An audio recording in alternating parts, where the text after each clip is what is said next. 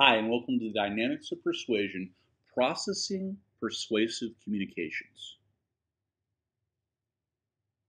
Here's our agenda. We're going to discuss some historical foundations, the elaboration likelihood model or theory, inoculation theory, and a brief review. The historical foundations of this research begins with the Yale model of persuasion. They were interested in who said what to whom with what effect. To be persuaded, individuals had to attend to, comprehend, learn, accept, and retain the message. The more people learn and comprehend message arguments, the more likely they are to accept and advocate positions. So it starts with communication, which leads to message learning. And within message learning, you have attention, comprehension, learning, acceptance, and retention, and that results in attitude change. The next approach was the cognitive response approach. This asserts that people's own mental reactions to a message play a critical role in the persuasion process, and this in some cases can be more important than the message itself. Cognitive responses include thoughts that are favorable to those positions advocated in the message, in other words, pro arguments, and those that criticize the message, in other words, counter arguments.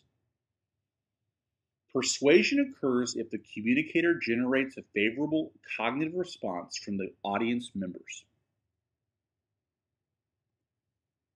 So, in the cognitive response model of persuasion, again, we begin with communication, and we have cognitive responses, which include pro arguments, counter arguments, and thoughts that originate with the message, creatively elaborate on the message, or are irrelevant to the message.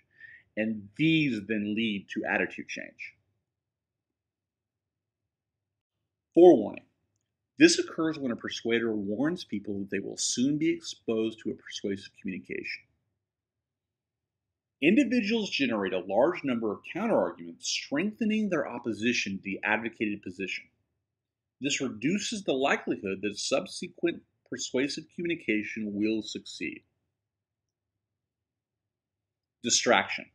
Here, people are distracted from paying attention to a communication with which they disagree.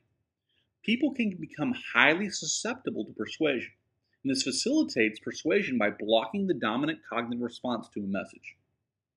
Using humor, music, and sex to take people's attention away from the message are all examples of distraction. The elaboration likelihood model. This model tells us when people should be particularly likely to elaborate. There are two distinct ways people process communication the central route and the peripheral route. The central route is characterized by considerable cognitive elaboration. When we use the central route, we carefully evaluate message arguments. We ponder communicators' ideas. We relate information to our own knowledge and values. The peripheral route is different. Here, we examine a message quickly or focus on simple cues to help decide whether to accept the position advocated in the message or reject it. Weak arguments like physical appeal and speaking style are more influential in the peripheral route. An important construct here is motivation process. In other words, your involvement and the personal relevance. As motivation decreases, the more likely you are to take the peripheral route. The same can be said for ability. Ability is the knowledge and the ability to process information the less your motivation and ability, the more likely you are to take the peripheral route. Inoculation theory argues that exposure to a weak dose of opposition arguments, strong enough to stimulate defenses but not strong enough to overwhelm, should produce the mental equivalent of antibodies. In other words, counterarguments. So this works just like a vaccination in your body. Counter-arguing the oppositional message in one's own mind should lead to the strengthening of initial attitude and increased resistance to persuasion.